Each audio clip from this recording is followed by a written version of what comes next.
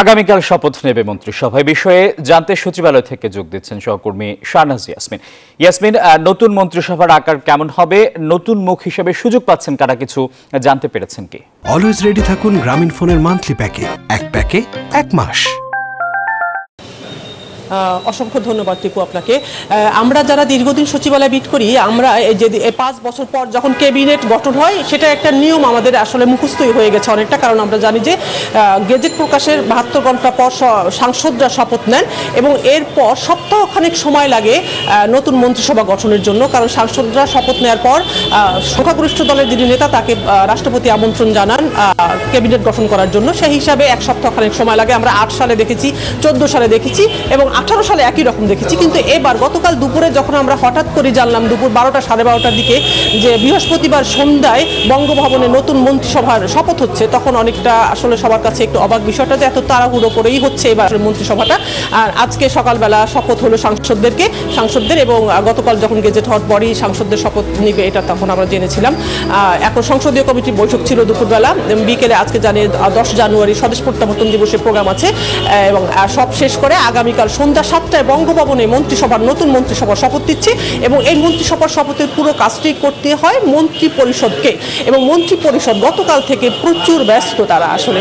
আমরা আজকে সকালে আমরা নয়টার দিকেই সচিবালয়ে ঢুকেছি, তখনই দেখলাম যে তারা অনেক আগে থেকেই আসলে সচিবালয়ে এসে কাজ করছে, কারণ এত অনেক বড় একটা কর্মযোগ্য বঙ্গভবনে আগামীকাল তেরোশো থেকে চোদ্দশো অতিথির একটা তালিকা করছে।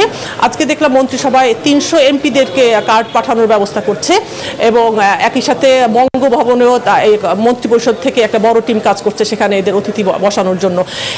এখান মন্ত্রিসভা বৈঠক থেকে এবং মন্ত্রী পরিষদ থেকে আমরা যে তথ্য জেনেছি যে এখন পর্যন্ত আমরা জানি যে পুল ভবনে পুলে নতুন গাড়ির ব্যবস্থা করে রাখা হয় নতুন মন্ত্রীদের জন্য এবং এখনও পর্যন্ত মন্ত্রিসভা পরিষদ থেকে পঞ্চাশটি গাড়ির তালিকা তারা দিয়েছিল। কিন্তু পুল ভবন বিয়াল্লিশটি গাড়ি তারা তৈরি করে রেখেছে এবং সেই গাড়িগুলো তো আমরা পতাকাও করতে দেখেছি। হয়তো, কিন্তু আমরা জানি যে আসলে পতাকা নিয়ে মন্ত্রী, প্রতিমন্ত্রীদের কাছে যায় না তার নতুন গাড়ি পাঠানো হয় এবং যারা নতুন মন্ত্রিসভায় আছেন তাদের জন্য গাড়ি পাঠানো হয়। পুরনোদেরও পাঠানো হয়, কিন্তু অনেক পুরনো মন্ত্রীরা গাড়ি তখন তাদের প্রয়োজন হয় না বলে তারা জানিয়ে দেন। কিন্তু তাদের পুরনো গাড়ির পিছনে নত- নতুন গাড়িগুলো যে যায় বঙ্গভবনে, এমনটাই মন্ত্রী পরিষদ জানা যে তারা নতুন গাড়ি সবাইকে পাঠান বিয়াল্লিশটা গাড়ি যেহেতু প্রস্তুত আছে, আমরা বলতে পারি এখন পর্যন্ত যে বিয়াল্লিশ জন মন্ত্রিসভা হতে পারে। সেখানে নতুন থাকতে পারে পনেরো থেকে বিশ জন।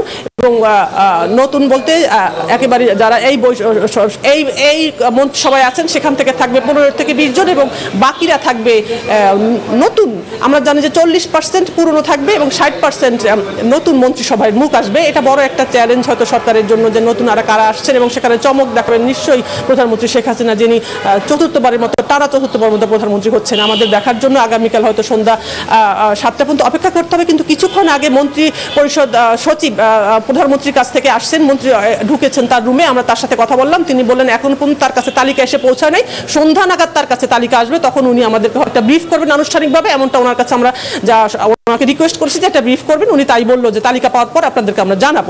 তো আমাদের সেই পর্যন্ত অপেক্ষাই করতে হবে। এখন পর্যন্ত আমরা যা জানিয়েছি শুরু খুবই আনুমানিক, আসলে আনুমানিক কথা বলাটা খুব বেশি মুশকিলই হয়ে যায়। কিন্তু এটুকু জানি যে পুরনো ক্যাবিনেট থেকে চল্লিশ পার্সেন্ট এবং নতুন ষাট পার্সেন্ট আসবে, এটা আসলে অনেকটা নিশ্চিতই বলা যায়। যেহেতু বিয়াল্লিশটা গাড়ি রেডি আছে, আমরা জেনেছি। টিপো